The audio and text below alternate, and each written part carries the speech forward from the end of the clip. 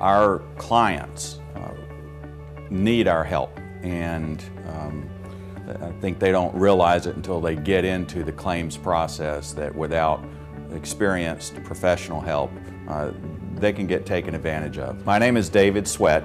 I've been at Rue & Ziffra since 1999, been practicing since 1993. My entire career has been devoted to personal injury practice and representing injured people. I think you, you have to have empathy with your clients. You have to feel what they're going through and communicate that to uh, either the insurance company or the attorneys on the other side.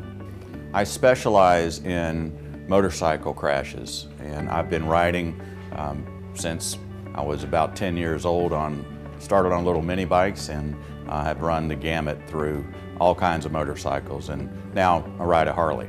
What we find is in our community, bikers are some of the most generous people. We do many, many events each month and throughout the year to support the community and we've never had any trouble getting the biker community involved to assist us.